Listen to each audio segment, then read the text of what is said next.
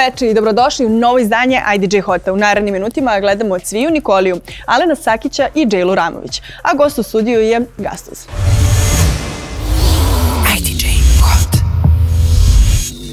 Alen Sakić je u prethodnih nekoliko meseci više nego ikada izbacivao muziku. O muzičkim projektima, ali i o rasti, razgovaramo sa njim u narednim minutima.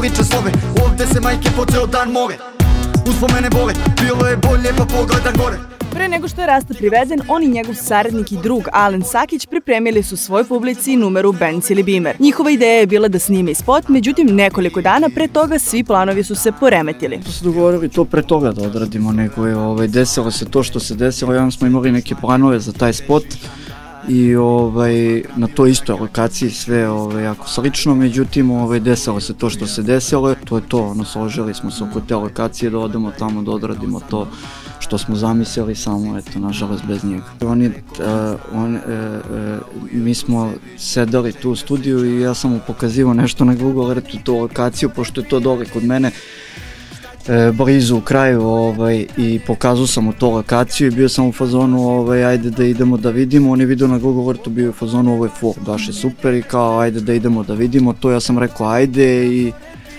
kad smo se, ovaj, kad je došao po mene, to se desilo što se desilo i nismo ni otišli, onda smo mi nastavili da radimo to bez njega. Balkaton tim je odlučio da ovu numeru izbaci i na taj način Rasti pruži podršku. To je ovaj, neko neki moj prikaz poštovanja prema njemu i ovaj svemu tome što radi i ovaj kao neka podrška ovaj koja je uz njega. Eto tako sam ja to video a kako mi je bilo bez njega kako mi je jako teško mi je ovaj drugar Od rastinog hapšanja u medijima su se pojavljivale razne informacije. Balkaton ekipa nije dostupna za druge medije kada je u pitanju razgovor o reperu. Ispituju konstantno ono kako što, mislim ono, ovaj, od kad se to desilo s bratom, oni svi, svi su u fazonu ono kao šta, ko, kako gde, iskreno ti kažemo, ovaj, ne pričam o tome, ovaj, bilo mi jako krivo to što su svašta nešto pisali na početku i baš su me zatrovali, ono, svašta mi svakakve neki, pa mislim i dalje to rade. I ovaj, bilo mi je u početku jako krivo, ono, a sad mi iskreno ti kažem, više me ne interesuje me, ba, ono, radi muziku, uživamo tu, ono, uz, uz muziku i stvarno ne pokušavamo, ovaj, što bi on radio, znam da, da to ne bi, da ga to ne zanima, ne bi ono obraćao pažnju na to i pokušavam da se nabaziramo uopšte na to, ne interesuje me nas ovdje, ono, to mislim, sve ovo što radimo, radimo tako, mislim, nas ni, na, nisu nas stvorile novine, ono, niti mediji. Nas stvorili ti ljudi koji nas slušaju i to je to. Međutim, ni Balkaton ekipa nema vesti o trenutnoj situaciji, jer je Rasta i dalje pod istragom. Nikakve, nikakve, stvarno ne znamo ništa, sedimo i ovaj, mi isto i čekamo. Sve spekulacije po medijima, sva nagađanja nisu tačne nisu tačna ni jednog momenta. Ale nova pesma sa THC-ovcima Zore pijene broj preko 4 miliona pregleda na YouTube-u i dalje se nalazi na trending listi. Shodno nazivu numere i na snimanju spota je bila slična situacija. Da, napio se Bore baš, Bore se baš muški napio, ono što kažu, Idzo se. ne znam šta ti kažem, svi smo bili ovaj, baš pijeni, svi smo pr proveli smo se prelepo ono i svi smo se ponapijali ono. Alen Sakić će fanove nastaviti da oduševljava novim pesmama koje čine njegov album. Do kraja februara izaći će ostatak numera, a kako smo saznali, poslednje u nizu napravit će najveći bum. Zadovoljan sam super, ovaj, e, napretkom onog izbacili smo tri pesme do sad, e, super, ono sve tri su bile u trendingu, prve dve su ono iskidale taj trending što, što kažu. a, a, a treće je ono, dobro, mislim, to je i kartom video, nije spot, tako da ono, mm. super napreduje i ona, prezadovoljni smo. Mm.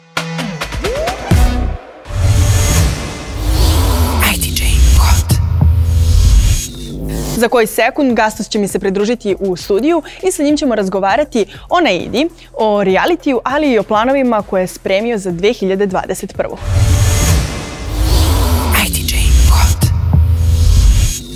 Kao što sam vam već najavila, večerašnji gost je Gastoz. Uh, on je sa jako lepim povodom ovde kod nas, zato što se vratio svojoj velikoj ljubavi na Idi. Uh, večeras ćemo, pored toga, uh, pričati i o njegovim planovima i o reality u kome je bio i očigledno da se tamo stvari nisu završile na, na najbolji način, pa ćemo iz tog razloga pričati večeras o svemu. Zdravo Gastoze, kako si? Zdravo Gastoze, znači ono neverovatno, lepa ti je najava Danice, dobar dan svima, što srećni praznici i ostalo. Hvala također. Došao sam ja i zbog vas, ne samo da bi ja rekao da sam se ja moje veliko ljubavi vratio, niti ona meni, nebitno to. Voljela bih u startu da mi um, uporediš kakav si bio pre godinu dana, a kakav si sada. Da li se uh. sećaš naših intervjua, recimo, pre godinu dana? Ma da, ako ćeš da aludiraš na ono što smo baš ovde radili, ne ovde, kad sam pričao o Naidi. O svemu? Ne znam, ova godina kakva je bila, razumeš, ono ne mogu baš ja da se žalim, pošto od marta prošle godine je krenula ona cela gongula sa Tajlandom i tu se baš i ekstra, i ekstra proveo. Iskreno, ja sam tu izvukao mnogo toga dobro, ali znaš, kad pričaš o tome u ovom trenutku dok znaš da neki ljudi su baš ono uh u downu, onda i ne želiš mnogo da se hvališ tvojim dobrim, ajde, vremenom provedenim tamo i to. Ali posle to što se desilo, Ja sam očekivao da će od marta do marta, do kraja realitija da bude moja godina, iako je najgora, ali iskreno nije. Tako da sam neke stvari završio što se tiče u prošle godini. A ova godina, ne znam, lepo je krenula, za sad je sve onako super. I imamo neke ideje, ali kakav sam bio prošle godine... Emotivno, Znam da sam htio da se smirim i mm -hmm. da sam krenuo, razmišljam u tom smeru da se malo ono smirim, da položim za auto. I ništa se tu nije desilo? Pa trebalo da se desi, onda sam završio na 9.500 km ono, sa slonovima i palmama i ostalo. Tako da, već sam prošle godine želao da se smirim, ove ću morati definitivno. A, da li si prošle godine kada si razmišljao o tome da se smiriš, a, video sebe pored Naide ponovo? Da li sam sebe video pored Naide? Pa ne, naravno da nisam, zato što nije ni bilo ono u planu. Saznao sam da će da uđe u isti reality kao i ja, fazan jedno 10-15 dana pred ulazak što mi je bilo katastrofalno. Zbog čega? To, pa zato što je, ja sam, mislim, ono, generalno, to je neko moje viđenje na, na nju. On je stvarno jedan, jedna vrsta otrova i koji sam jednom popio, jedno se izlečio i sad sam bukvalno uz opet istu dozu.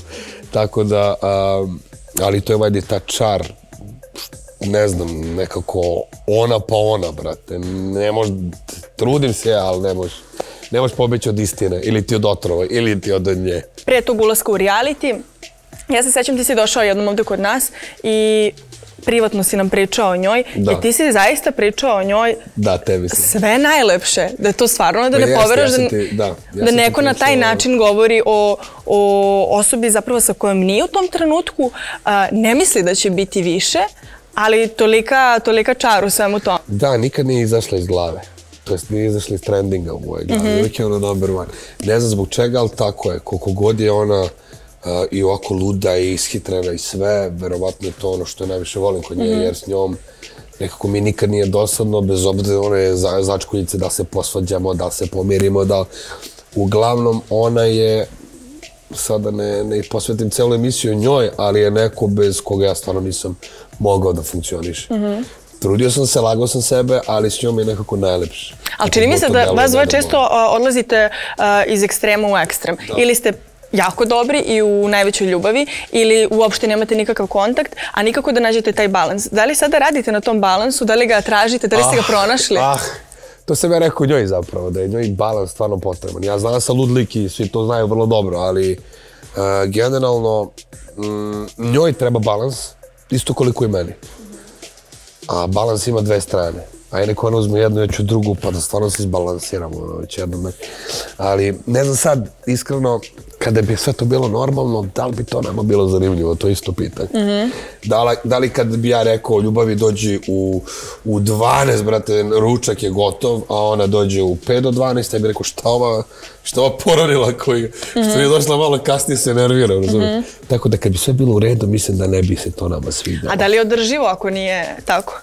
veruj me da je konstantno, uh, Mortal Kombat, bret, bukvalno, ono, konstantno, konstantno smo ono, znaš, ona faza kad trebaš da uh, fatality, ali finishim, znaš. Mi smo konstantno u toj fazi finishim, ali niko neće nikog da udari, ne. I konstantno smo u drilu i u vazdu, znaš, ono, nećemo da jedan drugog gubijemo, ali hoćemo da se konstantno, znaš, ono, da si u polu nesvestu. Tako da to je neka naša veza. Ili se neverovatno volimo i ne možda gledamo jedan dugo, ono, nekoliko minuta ili ti sat, dva. Drill, konstantan drill, konstantan roller coaster. I sad, kad iz takve veze uđeš u neku drugu koja je totalno light, sve to bude lepo, ali... Ti si ušao u jednu takvu vezu. Pre... Misliš šta, gde, kad, ono Gde je, pa, eto da kažemo da je light, kako, kako si to već nije, napomenuo. Nije, ma nije, navučeš se na ove lude odnose, znaš, ono, pratimo se, razumeš, mi se ono i prepiremo i sve, ali generalno ne možemo jedan bez drugi, to je baš ono... A da li imaš strah da će, da će možda da se prekine sad i, o, i ovaj put? Pa Baš zbog toga što je ta stalno neka oni i ja imamo oprez generalno jedan od drugog, tako da ne verujem da bi sad nešto mnogo toga Uh, ne verujem da bi toliko bilo strašno da se opet prekine, jer smo već jednom to preživeli i nekako nam je sad lakše, pošto znamo šta znači ako ne budemo zajedno. I onda se na neki način i trudimo da neke stvari koje smo u prošlosti radili, što nisu bile baš gotivne, da, da to ne Na radimo primer? više. Pa nekako naš, naše veze je konstantno bila turbulentna. Niti smo znali da li smo zajedno, da li nismo. Da. I sve te neke gluposti, ali sad smo ono totalno jedan za drugog i to je to. Ne postoji niko osim nas i to je najbitnije. A da li si... Je, u, ovo, u ovom serijalu naše veze nisam je prevario. Znaš. Ovo već traje, bre. E, to, sam baš, to je sledeće moje Tri po pitanje. četiri mjeseca, ono, koliko smo već zajedno iz realitija, ja nju nisam prevario. Što je za mene, polako ulazimo u rekord. Svaka čast. Majke mi je ovo bolesno. Ali mi je drago i naš, naš naj, naj, najveća priča je da ja nemam želju za njom. To je cela A da li je ona prebrodila taj uh, period kada si ti nju prevario? I da li uh, ti možda, da li si ti prebrodio to? Da li ste prebrodili i ljude koji su bili umeđu vremenu? Da, bravo, bravo, bravo, pa baš to, da.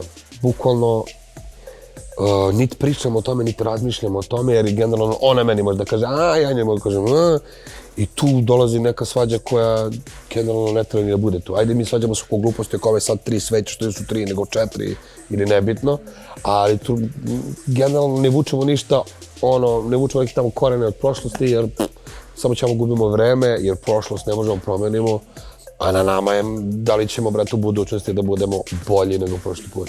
I se sad ovo pričam kao da je neka igrica na Sony u petici i sad kao, da li će Gastus i Nida ostati zajedno, znaš, ono, wow. Kao, da li će, kao, da li neće, šta će sad, kao, da li će se posvađati? Pa dobro, vaša veza je generalno turbulentna nekako nije od normalna, starta. Nije normalna, i... ali je toliko dobra da je nestvarna. I generalno ja sad ne mogu sebe da zamislim ni pored jedne devojke na svetu osim nje. Što je malo sad bolesno, da ja to tebi kažem javno, ali stvarno je tako. Kada ste snimali kviz, uh, pomenula je nešto za neki telefon. Ma ona Da čačkaš pominje. telefon? Ma ne, ne, čačka, ne čačkam ja, čačka ona. Ona voli da gleda ko mene zove, uh, stalno pravi neke priče. Uh, da se ona sprda s tim, da ona to namjerno radi da nema konstantno može, ja ne znam, ali nije normalno. Da li se našla, uh, ima neki blokčić ono, na stolu i ova žena koja mi čisti stan, mislim, ona napisao u tom blokčiću dobro jutro pre ne znam koliko meseci, faz. I ostaje ga tako, i ona valjda nešto čistila neke stvari, otvara blokčić, piše dobro jutro. Aha, koji si ovo pisao, a? Šta kao usto si prvi kao, a? Znaš, ja kaže, druže, šta ti je? I sad kao ja kažem, kome si to pisao? Kažem, pa nisam baš u takvim odnosima sa ženom koja mi čisti stan ljubavi, ali ako treba, kao, što nisi stavio srce? Ja sam onda rekao tu rečenicu. Pa je, juče je bila sama Gajbi, ja sam bio po nekim emisijama, kaže, odakle ovoliko plavih dlaka u, u kanti za e, vešov, ono, ne kaže, pa ljubavi plave se vide malo jače, ove crne teško. I onda, A odakle plave? Pa bilo, brate, znači, dezinfikujem cijelu kuću, ono, mislim, baš sam, učinio sam najveći deo posla, to je bitno. Pobacao sam neke minđuše, ne znam ja šta sam našao po gajbi, neke sakoje ženske, neke cipele, gaće, čarape, znaš, ono, normalno, znaš, mnogo ljudi tu prođe. I onda sam sve to pobacao, da ne bi ona mogla kada uđe nešto da nađe, pošto sam imao tu prednost da izađem pre nje iz realitija. I opet sam teo da budem taj dobar dečko koji je pazio na svaki mogući moment i trenutak i sve to na, na, na, na, na, da bude pod konac, da bi ona meni rekla na kraju kome si je napisao dobro jutro, a nisam ga ja napisao, nego pa ta žena koja mi čisti stan, ona pa faza, ne znam kad je to bilo, i onda bi ušla, očistila, izašla i kad sam ja ustao dobro jutro, ne znam šta mi piše. Ali ona ti je takva. Ona kad ne bi bila takva, kad ne bi obraćala pažnju na takve stvari, ja bih rekao da nešto nije u redu. I onda znam da je to to. Sad, jedno jedan drugo kada e, ne bi nešto čikali, tu bi bio problem, jer kod nas nema tišine. Mi od kad ustanemo, dok ne zaspemo, mi stalno nešto pričamo, čavrljamo i nema dosade, konstantno drill. Ti si nju verio i to je jedna lepa stvar koju su i svi mediji... Uh... Pa iskreno nismo mi baš hteli da to bude medijski isprećeno, ali pošto je moja kuma šmizla toliko pametna i uh, uradila je screenshot samim tim odma izbacila, uh, to je otišlo dalje, verovatno ću da je ubijem ovih dana, planiram sad za vikend, ali dobro i ja sam nju verio, ja sam verio nju, ja nisam verio ni medije, ni ni nikog Dobro, ali ti si javna ličnost, mislim. Znam, ali mogli to malo da sačeka, tek izašli iz realitija. Uh, ja nisam mogu da čekam da je, da je verim, jer smo unutra pričali o tome, pričali smo o mnogo lepim stvarima i kako je izašla Jel ti pokva, su ti mediji pokvarili taj utisak uh, o cijeloj veritbi, baš zbog toga što ne, se ne, sada ne, zna? Ne, napravili su neki mini problemčiće koji su naravno rešivi, ali nismo htjeli odjednom da sve to bude mm -hmm. ali tako je ispalo.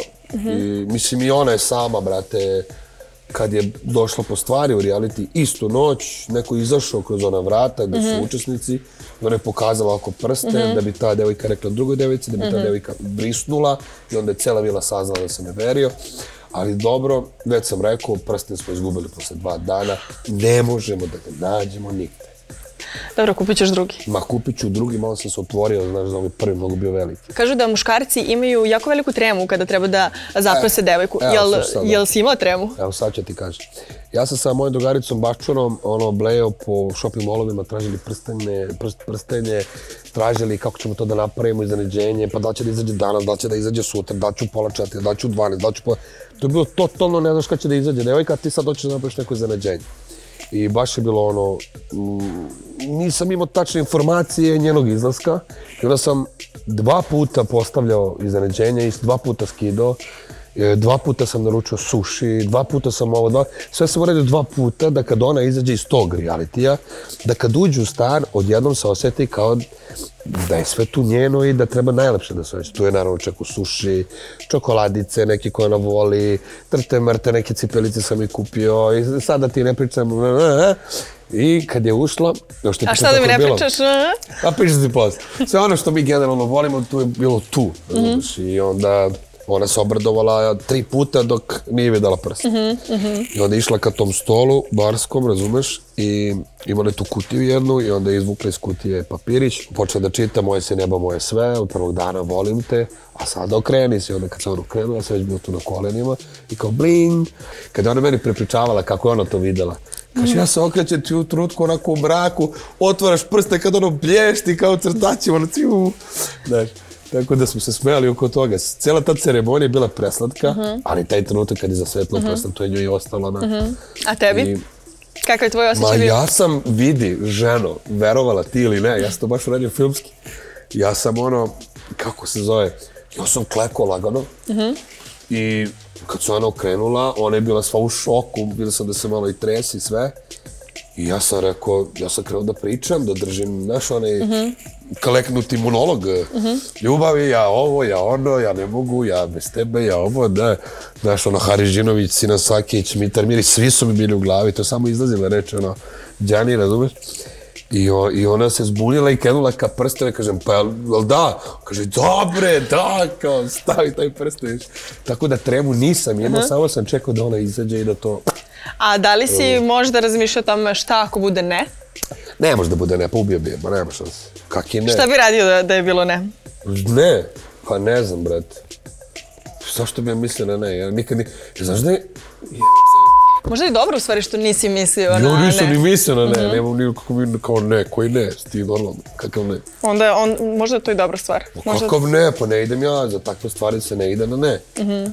Beži bre, pa da, baš me baš to napitala kao, pa li imaš tremu, kao što ćeš učeras da uradiš? Ja kažem, ne. Kaže, kako nemaš tremu? Ja kažem, nemam tremu, hoću samo da stavim taj prsten, brate, da zna devojka da, ono, ona i to to, kao, znaš, jer je to bilo u glavi, ako ne stavim prsten, ima tripuje da hoću opet nešto sa strane, ne, ne, da su nam slobodni odnosi. Ne, nisu, brate, tebe volim, evo ti prsten, ajde završamo to premo decu, bre, čao. Znaš ono kad presečeš, znaš, šta više se glupira. Pa, jel ste razgovarali o tome? Znam Ma da ste jesmo, u jednom live ste pričali. Ne, o- generalno kad bi se bilo šta od toga desilo, verovatno bi to sačuvali od medija, mislim, kogod bi mogli. A, pri- medije kao i medije, ono, malo, fuj. Već su pričali da je ona trudna, što se meni uopšte nije svidjelo, ali ko još danas čita te gluposti. E, naravno da nije trudna, ali mislim, to je dar od Boga, brate. Neka dođe spontano, ako je negde zapisano, ono, nek se desi. Tako da što se toga tiče, nek smo mi živi i zdravi i da smo mi dobri i da se volimo, a dete svakako poklon, brate, od onoga gore, tako da lagano. E sad, e, s obzirom da ste se vas dvoje ponovo spojili u tom realitiju, a izašao si iz tog realitija prilično, Da, prilično burno. da, eto, iskoristit ćemo tu reč boj, burno, da. da. A, da li je zapravo svrha svega toga da se ti i Naida ponovo spojite? Ne, ne, ne, rekao sam i malo pre da Naida uopšte nije bilo u planu, da sam ušao u reality da bi neke dugove tu zatapkao što imam sa Happy televizijom i da e, pokrenem nešto svoje, već sam ja i planirao, imam je, sve sam već ono napravio u glavi, ali igrom slučaja nešto što smo se dogovorili nije ispoštovano odjednom, sve je bilo na brzinu, mi nekoliko, mislim, sada ne pričam, nas 30 je bilo gore i želeli smo neku pravde da dobijemo. Na kraju nas sedmoro je bilo vani, dok su se ostali vratili. Sad, njena priča je da su njima rekli da se vrate dole, da ćemo mi da se vratimo unutra. Da su njih navatali na foru, ne znam. Uglavnom, uh, ja tu televiziju jako volim i jako poštujem i znam što je meni donela, ali neke stvari ne želim da prelazim preko njih, ja ne želim da budem deo on, onakvog reality. Ja znam šta sam i šta je gastoz na toj, na toj televiziji, to jest u tom reality formatu šta je gastoz i to je to i to ne želim niko da ospori, niti može, niti može se izbriše, niti da se zameni. Ne želim da budem deo neke tamo šund priče. A čekaj, da li si ti zapravo sada izlaskom iz ovog realitija stavio tačku generalno na realitije ili dalje može da uh, tvo, tvoje vreme i tvoja karijera ide u tom A, smeru? ne znam, brate, ovo sad što sam uradio, možda mi nije ni trebalo generalno. Na koji način? Generalno ti nije, nikom ne treba uopšte reality u životu, ali Mhm. je, kad se tako zadesi, kad ti ponude neku cifricu, kad nemaš izbora, uđeš, pa A se zašto, posle bacaš za glavu. zašto ti ne treba? Pa meni, generalno, mene reality nije, iska, meni nije reality iskalja obraz, što je bitno, bez obzira šta sam ja radio. Ljudi su mene navikli na takvog ludaka, ja sam takav i privatno, ali generalno, kad bi mogo vreme da vratim, nikad ne bi bio deo realitija, jer ja jednostavno više to otišlo kroz nekom drugom smeru. Ja sam tamo se sprdam. Pa ne znam, ne sviđa mi se. Postalo je baš ono nekako fuj. Nekako... Ne, Generalno ne kod nas reality ili taj konkretno u kome si bio? Pa, generalno. Kad kažeš reality, odmah u društvu e, ljudi koji ne gledaju televizor, kada ti kažeš bio si u realitiju i postigo si šta si postigo, odma nekako si degradiran sa njihove strane, jer su sad oni bitni jer nisu bili u realitiju, a ti si nebitan koji si bio u realitiju. Ne gledaju to šta si ti tamo preživao, koliko si spavao, šta si jeo, nego samo gledaju uzeo si lovu i izašao si vani. I to je njima najbitnije. Šta si tamo preživao? Da li si izgubio nekog člana porodice? Da li si se posvađao sa pola familije? Da li si... Uh, dobro, ali ti si da na li to si pristao kada si ušao. Zabranu da izađeš u grad? Da li te sramota da odeš u maksi? Razumeš? To su sve stvari koje ljudi ne Ali to gledaju. su bili tvoji izbori. Da, a to, pa da, ali ti, ja ti gledam, generalizujem ljude, mislim, generalizujem ljude koji su učestvovali u re- u realitiju i šta je njima reality zapravo doneo, a šta odneo. A Razumeš? da li si ti više dobio ili izgubio? Ja sam dobio. Ja sam dobio, generalno sam dobio. Ja, mene Bog čuo, hvala Bogu, dobar sam dečko. Čuo sam. Tako da, što se mene tiče, ja sam dobio, ja sam izgubio nešto sve to, ali to je zbog nervoze i svega šta se desilo. Ali neki je laka zemlja. Ljudi treba da budu svesni kada pričaju o realitiju u što se zapravo upuštaju. I onda ja, s moje, stra, s moje stačke gledišta, kada bi mogao, ja bi se veto zabranio dao bi ljudima nešto pametnije da rade, ako je moguće, a i samo da kažeš jednu stvar, nismo mi krivi što smo u realitiju i zaradili i što se to i dan danas emituje, već ljudi koji to baš gledaju. A koji su ljudi, kakvi su to ljudi koji gledaju reality? To su dobri, to su, to su generalno mnogo, mnogo, mnogo... Um, ja znam po sebi, po ljudima koji mene prate kroz reality, to su ljudi generalno ili su uh, u- u- sami nekako, pa jedino što imaju je taj reality, pa se za nekog poistovete, pa ga zavole kao da je član njihove porodice. To su ljudi kojima je potrebno eventualno neko društvo, koji su, ne znam, eventualno u inostranstvu, koji rade ono od 7 do 5, pa dođu kući i naručaju se, le, sednu i gledaju, ne treba im niko, nego zgotive te, čekaju da progovoriš, čekaju da, se, da, te, da ih nasmeješ. uh, e, Ljudi koji te gledaju kao sina, ja imam naš koliko tih keva, brate, koji mi konstantno šalju i to su ljudi Da li je koji to publika koju ti želiš da imaš? Uh, sve dok imam publiku, znači da nešto radim ispravno. Znači, ja bi se uplašio kada za mene ne, ne bi niko ni pitao, niti me lajkovao, niti me šerovao. To bi već bio problem. Igrom slučaju ja, zbog YouTube-a, muzike i realitija, imam taj spektar od 7 do 77 ono, godina ljudi koji me prate. Ali ja nikad to nisam iskorišćavao na način da nemam pojma ni ja šta, nego sam uvijek ono, go with the flow, brate. Ako, ako mi se nešto radi, radim. Ako mi se ne radi, ne osjećam se dobro u tome, onda ga ne radim. Ja sam na silu, brate, ušao sad u ovu sezonu. Na silu sam generalno izašao, ajde da, bude, da ne bude, pošto nismo ono lepo izašli. Ali ja publiku volim, to je lepo kada dobiješ poruku od njih, sine si dobro, srećan ti praznik, ljubim te, ovo ono, ja ti treba šta, naravno da mi ne treba ljudi, imate vi valjda vašu porodicu. Lakše je njima da razmišljaju o našim valjda problemima, nego o svojim. A neko to gleda iz hobija, neko to gleda iz dosade, a neko to gleda iz nekog ugla, tipa psihološkog. Kakvi ljudi mogu da budu, kakvi ljudi mogu da postanu od prvog dana, pa posle mjesec dana, pa posle šest mjeseci. Gde je oni što se predstavljao kao dobar dan, što sad ovaj jebe m, svima, razumeš? Gde je onaj dobar dan, dečko, o ko- kojem smo mislili da je dobar. I onda zavisi, zavisi iz kog ugla gledaš, ali uglavnom ubije dosta. A, kakav bi ti reality format voleo da vidiš kod nas? Pa kakav bi to format- reality format imao smisla i bio dobar i bio zanimljiv na pravi Ja neki već način? imam neki reality u svojoj glavi. Ja o tome nikad nisam ni pričao, ali generalno kada bi neko pričao, verovatno bi mi ukrao ideju. I jedino da potpišem sa ID Jam pa da pravimo zajedno. Ali koncept koji ja imam je svakako mnogo bolji, mnogo lepši i mnogo pozitivniji i nikad u životu ne bi dozvolio da se ljudi svađaju oko toga ko je kad umro, ko je u grobu, ko je na nebu, e, da li si uzeo dva kulutića čajne ili tri vekne hleba. To je užasno. Ako već imamo taj medijski prostor i sve, i ljudi su generalni zatucani za reality, zašto im ne damo nešto stvarno da svi mogu da gledaju u porodici? Da ti sad gledaš sa nekim tamo Burazirčićem od, ne znam, 3-4 godine, razumeš? Da gledaš sa Bakutom od 60-70, da nema ti psovki, ali opet da bude entertainment. Ma ajde više, bre, zgrožavaju se ljudi, bre, sa JM i ostalo. Ti, ti kad gledaš reality, čuješ samo ti, ti, ti, ti, ti, ti, ti, onda sljedeći priča, Dobar dan da pozdravim sve gledalce, mama, volim te, tata, volim te, braćo, čuvaj se. Ti, ti, ti, ti, ti, ti, da, da. ti. Pa realno, brati, kad gledam. A šta ću, ja sam iz tog sveta, malo sad kritikujem ga, ali imam, brati, pravo, boli me tu baš. Baš imam pravo da ga kritikujem, jer generalno nosim i taj krst realitiju. Ja sam ti reality pevač sa YouTube-a, to sam ja izmislio zanimanje. Šta biraš u narednom periodu? Čime da se najviše baviš? Realitijem, YouTube-om a, ili da budeš izvođač? Da nastaviš svoju E, karijeru se- izvođača? Bavit ću se televizijom. Razmišljam da e, uz pomoć, ne uz pomoć, nego u, u, u taj timski rad koji sada stvarno ono, Dešava se nešto, ne mogu mnogo da pričam, ali mnogo drago što sam deo toga i želim stvarno da budem neko u pozadini ko i pomaže drugim artistima i svim, svim, svim, svim, svim mogućim sredstavima da i nađemo prave talente i da to plasiramo kako treba.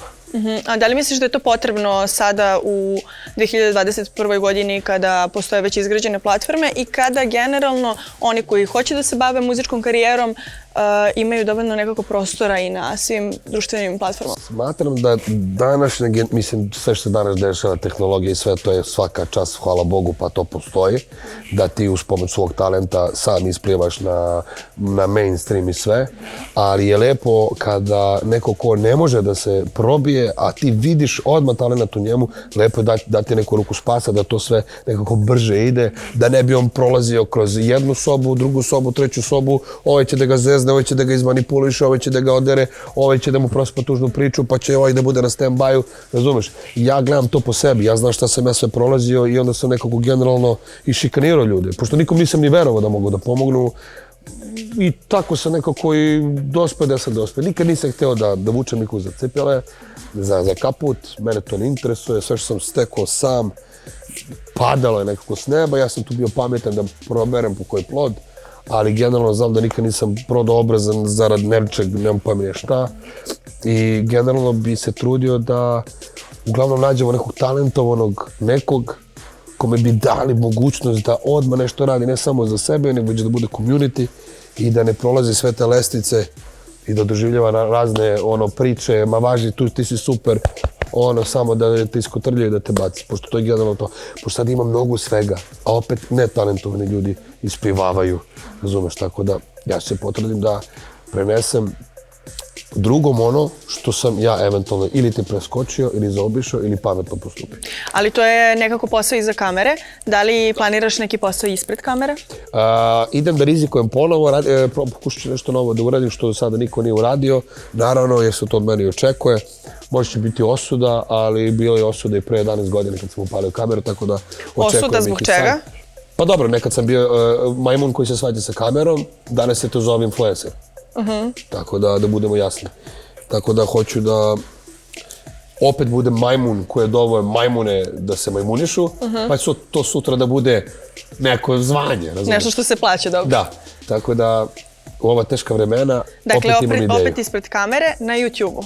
Da, da, da, na YouTube i na sajtu. Uh -huh. Imaćemo dve ono varijante. Ja sam opet da to bude svakako na YouTube-u ali da postoje neka druga, da ti ne pričam puno. Da li možda planiraš, odnosno da li, da li planirate vas dvoje, da napravite sličnu priču kao što su Marko i Luna? Sa svojim kanalom, uh, svojom sam, platformom? Da, gledao sam par ono klipova, vidio sam da im to dobro ide, uh -huh. svakim čast na tome. Uh, ne bi radio u tom domenu, mislim, taj, taj tu vrstu vloga ne bi radio, ali s njom sam nešto isto planirao, nego nisam još rekao, to jest rekao sam, jer ona ne veruje u te moje priče ja već imam koncept i za nas dvoje. Isto -huh. bi, se bavili, bi, bi se bavili YouTube-om, uh -huh. ali bi to otišlo skroz drugom pravcu. Ne bi bilo ono klasika, e, dobar dan, aj sad smo u Meku, Dobro, aj sad smo u IDJ-u, aj smo... E, to. Ne znam da da otvorimo zajednički kanal, pošto jedino tako možemo da delimo lovo ovako. Češ da kažeš da je sve moje, ja bih rekao da nije. Da je sve tvoje. Da, inače samo da uputimo gledalce na ide iza kamere, pa da. zato, zato gleda iza. I svašta mi nešto priča, dragi gledalci, ali bolje da ne vidite. To je pakao imam ideje za nas, ali hoću ovo prvo da, ovo što ti rekao pre toga. Mm -hmm. Ako budem istrajao u tome, pošto ja pun sam ideja, druže, kad treba se uradi nešto, nema nigde. E, e, pred kraj moram da spomenem i jednu stvar, to je da se tvoja pesma Ritmije našla u Južnom vetru. Ne znam, ne znam. Ne znaš? Šta? Nisi čuo? Našli su se mnogi, ali mislim da je Ritmije skoro pa najviše pobrala simpatija. Da, čini mi se. Majke I ta, ta scena sa Bajućom. Kako ti se dopalo to? tekst baš dugo. Šalim se. Kako mi se, kako, mislim, kako misliš da mi se, kako mi se dopalo? Pa ne da mi ja se dopalo, iznenadio. druže, kad sam dobio od uh, producenta, od režisera, e, taj kao pitanje, kao, kao, mm. možemo mi kao da stavimo pesmu u ritmi u Južni veter, je kao, what? Mm -hmm. Čeko, šta? Ne, I onda sam se baš uspaničio, baš sam se drao, ono, bio sam kod ortaka u restoranu, ja sam skakao tamo, ljudi su me gledali, onako, mm -hmm. znaš, to je nekako prelepo da se neko se, mislim, ne znam, ja to doživljavam mnogo, mnogo, mnogo nekako veliko. Mm -hmm. Pa dobro, Razumeš, jeste na neki ono, način, meni je stvarno. to baš ono full. Mm -hmm. Ima tu mnogo izvođača koji su prošli kroz to. A ja gledam sebe kao sebe, ono, znaš, mm -hmm. meni je to neka lesnica, ono, neka nova lestvica mm -hmm. u kojoj, eto, slučajno se desilo moje ime. Ono. Mm -hmm. Naravno, Henny PM, Z generacija, Ritmije, Relja Torino, idemo jako. Da li si možda dobio, da li si možda dobio ponudu od Miloša Avramovića da i ti napraviš neku pesmu za Južni vetar? Hoćeš da ti pokažem poruke, hoću. ne za pesma, za nešto drugo. Šalic. Hoću, hoću. Ne, ja sam njega smarao. Ja sam njega zapravo i pitao nešto, što ne smem da ti kažem, uh, gleda me čale. I a, kako se zove, on mi nešto odgovorio, pa ćemo da vidimo, nadam se. Volao bi da, da glumiš. god da je južni vetar, ono, majke mi.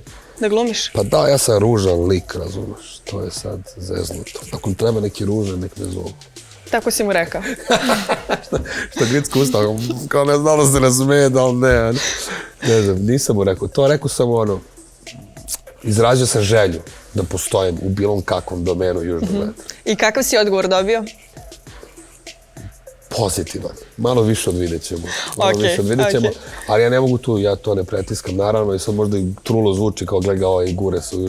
Ne, ali stvarno ja, ja dok sebe ne vidim na platnu, mm -hmm. ja ne želim da prestanem ovaj život. Ja moram da završim na platnu, to je nešto ono kao... Da li imaš neku pesmu u šteku koju čuvaš da predstaviš publici? Pa ne znam da su ti rekli koroni rimski imamo duet, šalim. Imam, imam, bio sam kod njih u studiju pre jedno pihaj i puštao sam im demoje, rekli su da nisam normalan i da bi trebao što pre to da izbacim. Imam jednu stvarno lepu pesmu, mnogo, ali baš lepu pesmu, to će baš, ja mislim da će to da pokida. I imam dve nenormalne pesme, imam jednu baš nenormalnu i imam jednu onako catchy i imam jednu baš onako adrenalinsku i valjda će biti još nečega. Imam, imam baš ono nekoliko pesama, neke su skoro pa gotove, a neke još nisu. Ali uglavnom, uh, jedno čekam da, da čuju ljudi čoko i vanilu. Ono. Zapravo, ti si mi sada dao odgovor da ono što sam ti postavila na početku, to jest malo pre, da, da li ćeš se baviti YouTube-om, da li ćeš se baviti muzikom ili, ili reality, zapravo sve i dalje u igri.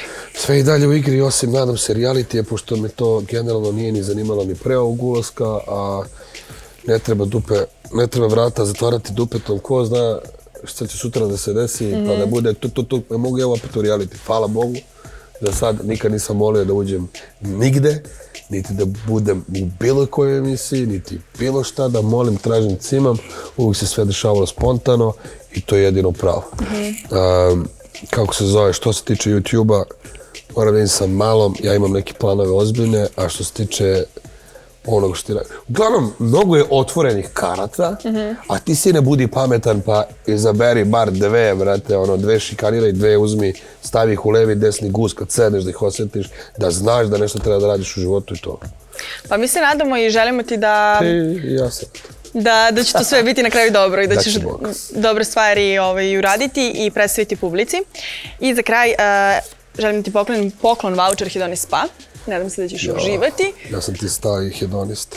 Pa znamo, zato smo ti dali taj voucher, da uživaš. Jedno noćenje mala.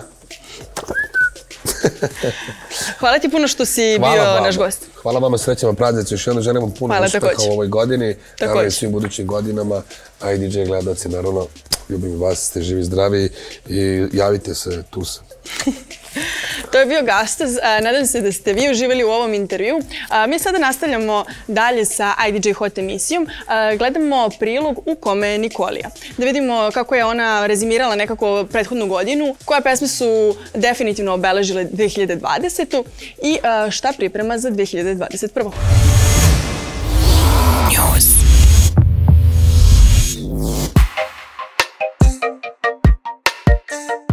Godina iza nas je svima na određene načine teško pala, ali Nikolin stav je malo blaži kada su prethodni meseci u pitanju. Pevačica vrlo pozitivno gleda na 2020. Ne, ne, to je uh, moj menadžer, kaže, nepristano ne pitaš nekog u 2020. šta ima novo. šta može da bude novo? Ovaj, ali to ne važi za mene. Kod mene ima svašta Evo čemu je Nikolija najviše uživala i zbog čega je zahvalna 2020. godini. Pa, zato što je bilo nezahvalno. Jeste da je godina tako kakva jeste i a, stopirala je celu planetu, mnogo života je odnela, mnogo ružnih iskustava, ali s druge strane, meni lično a, je donala to da sam cijele godine s porodicom, što inače, naravno, i, i inače jesam, ali ne bih imala priliku baš da toliko ne radim i da, da sedimo svo troje zajedno, bili smo, uspili smo da odemo i u Atinu, bili smo dva meseca na moru, mislim da su sve neke stvari koje su nam se ovaj, desile neplanirano, srećom i baš, baš sam se onako nauživala ove godine pored svega što se dešava, tako da ne mogu da se žalim. I u muzičkom smislu Nikolija je obeležila 2020. Svoj publici je pružala svoje najbolje numere tokom čitave godine.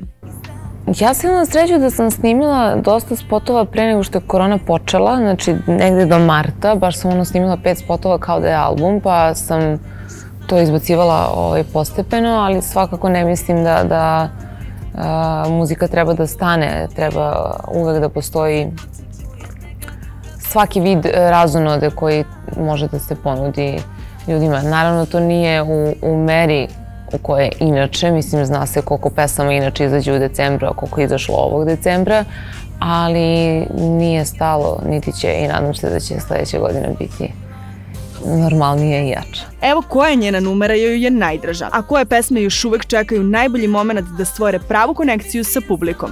Ima, ima, ima tu raznih pesama, ovaj, meni možda omiljena balada Nakit.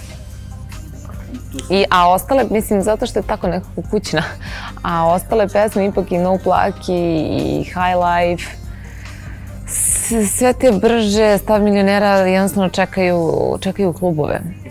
Čekaju klubove, pa jako mi je žao zato što ok, YouTube, slušanje muzike kod kuće je jedno, ali ipak onako kad se sluša muzika u klubu i kad Znači, ja osetim publiku je mnogo drugačiji vibe. Mislim, imali smo par nastupa i jedan od eh, tih nastupa je bio u Iskoziji u, u Švajcarskoj. I sad kao no plaki stav milionera idu i kao ljudi lude, ja nisam na predstavu da te pesme uopšte kao imaju tako prolaze, ali kao klubska pesma, znaš, kao da se sluša u klubu. Pesme koje čekaju da ih publika zajedno sa Nikolijom otpeva u klubovima zahtevaju i džuskanje. Evo da li joj nedostaje i taj deo nastupa. Da. Kako izgleda kad ostaneš samo kod kuće i odlučiš da... Pa redko, redko, redko, ostajem, redko kad ostajem samo kod kuće, ali ovaj, uh, da, ima moment. I džuskam se realno.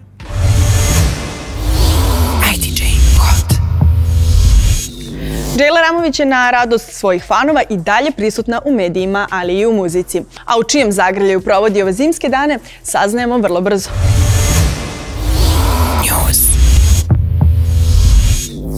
Vjerovala sam jednom u heroje, bila sam na tebe slav. Pevačicu Džejlu Ramović sreli smo na jednom događaju gde nam je otkrila kako provodi zimske dane. Do sada je vrlo vešto izbjegavala da otkriva tajne iz ljubavnog života. Međutim, naša ekipa je pokušala da sazna u čijem zagrljaju provodi zimske dane. Pa, uh, hvala ti naravno što si danas ovdje. Uh, pa, jako lijepo. Mislim, u, u, u, u sklopu svoje porodice, tu smo ovaj, kući i povremeno dolazim u Beograd radi obaveza. Iskreno, bila sam se jedan period malo i umorila od mnogobrojnih obaveza, pa sam onako, onako dala sebi ne, malo vremena da, da odmorim i evo me ponovo. Naravno, utočište pronalazim u znači, zagrljalju sa mojim psom. Jednom prilikom je istakla da će se povući sa muzičke scene na neko vreme kako bi se posvetila studiranju, a sada nam je otkrila na koji način će uskladiti svoje obaveze. Pa iskreno da ti kažem, e, ništa pretjerano novo, zato što iskreno tražim, u procesu sam traženja i pravog mjesta i pravog fakulteta, ali eto, ovaj, e, to što se svi pitaju kako će to da ide uporedo sa muzikom, ja mislim da će to da bude ok, iskreno. E, do sada sam išla u srednju školu i uporedo pjevala i imala takmičenje i mnogo više obaveza nego što ću vjerovatno imati u narodnom periodu, ali eto, ja ću fakultet i e, muziku da radim uporedo. Jayla ne krije da će svoju publiku i u 2021. godini obradovati novim pesmama, ali i da li je otvorena i za neke potencijalne duete? Pa nadam se, nadam se da će tu biti neki raznovrstan program. E, za sada ne mogu niti reći bilo šta, ali, ali naravno nove pjesme, novi projekti i tako. Pa ko zna, nisam pretjerano razmišljala, ali onako nekad, nekad mi prođe neka ideja kroz glavu i vidjet ćemo šta će da se desi na tom polju. Neosporno je da je njena lepota vrlo primetna, pa nas je zanimalo koliko joj je to pomoglo u javnom poslu. Pa hvala ti puno, e, pa generalno pomaže, šta znam, mislim ljudi su tu da, da sude o tome, meni je malo neugodno pričati baš striktno o tome, ali eto, ja se stvarno trudim i, i znamo koliko je bitan izgled u našem poslu. Naša tijela bit će spojena i kad mi srce migrira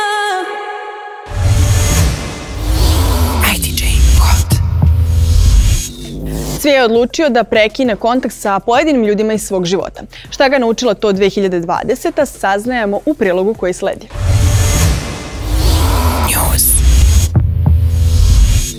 Oči gore kog kerozin i hoćeš Sa poznatim reperom Cvijom razimirali smo kratko šta je on to naučio u prošloj godini i kakav mu je utisak ostavila. Pa sazreo, u ovoj godini sam sazreo 5 godina. Ne, 2020. godina me ono promenila nabolje. I mnogo mi je bilo lepo 2020. godina. Ono što je definitivno shvatio je koje ljudi zaslužuju da budu u njegovom okruženju, ali i na koji način treba da prekine odnose koji mu ne donose dovoljno podrške, ljubavi i prijateljstva. Jeste, definitivno. Kako nije. Čišćenje među ljudima i nekako ono, u nekom trenutku sam bio, e, čekaj, pa ovi, ovi neki ljudi zaslužuju da budu bliže meni, znaš, za koje sam, ono, a ovi neki ne zaslužuju ne da, nego da odu iz države. Šalim se, nije toliko strašno. Ali imam tu dobru osobinu što kad presečem, baš sam presekao. Ali presekao sam do ono krajnje granica ravnodušnosti, znaš, što je... Ne mogu da kažem čak ni i za lek da treba ne bi dao, jer nisam takva osoba, ali kad presečem i kad baš tako da bila je čistka, ali bilo isto tako da sam se oko nekih ljudi smorio što ranije nisu bili toliko prisutni u mom životu. Do sada u svojoj karijeri nije imao velikih skandala, ali ni tračeva koji su ga pratili. Kako kaže, to je postigao samo zbog toga što se trudi da maksimalno zaštiti svoj privatni život. Za IDJ Hot je otkrio da će tako biti i u 2021. Svoje četiri zida, to sam naučio godinama i svoje četiri zida su svoje četiri zida. Ja sam cvija u studiju, na spotu, u muzici i tako dalje, ali taj Stefan je malo zaključaniji, znaš, ima neke stvari koje ne deli sa ovaj, ja, ne iznosi u javnost. 2020. mi je malo tu podržala da tek sad neću da govorim. Za kraj nam je ispričao šta je poželao sebi na poslovnom planu, a šta u privatnom životu. Cvijeće da izbaci pesmu, Cvijeće mnogo da se cima oko Steven Dokmana, oko svih nekih poslova drugih kojim se bavi, da e, radi, širi se i sve ono što je navikao da radi svih ovih 13 godina. A Stefan će da uživa, da bude hedonista kao uvek u svom malom krugu ljudi i nadam se mnogo da putuje jer mi to mnogo fali ostanemo sami, baby, sve me tvoje mami, bebe IDJ Vreme je da proverimo šta se sve to dešavalo na društvenim mrežama.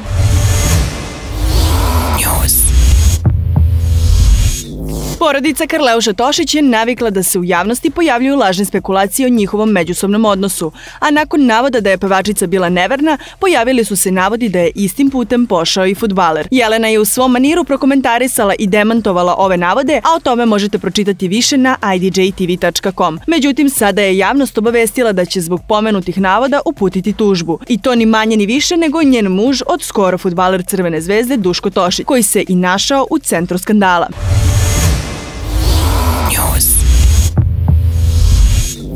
Pevač Vuk Mob ponovo se oprobao kao učesnik u realitiju, ali je napustio kako bi proveo praznike sa svojom trudnom verenicom Oliverom u poslednjem mesecu trudnoće, ali i na samom porođaju. Njih dvoji dalje razgovaraju o imenu za svoju čerku, a trenutno su u opciji Lora što je Vukov predlog i Kasija što je Oliverin.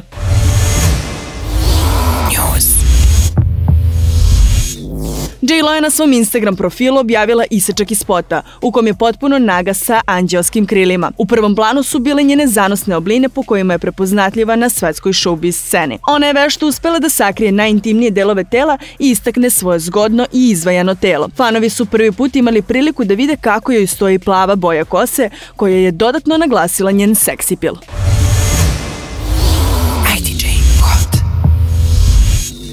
To bi bilo sve za ovo izdanje IDJ Hota. Vidimo se sljedećeg petka u isto vreme na istom mestu sa još boljim pričama. Ostanite uz IDJ TV i slušajte dobru muziku. Ćao!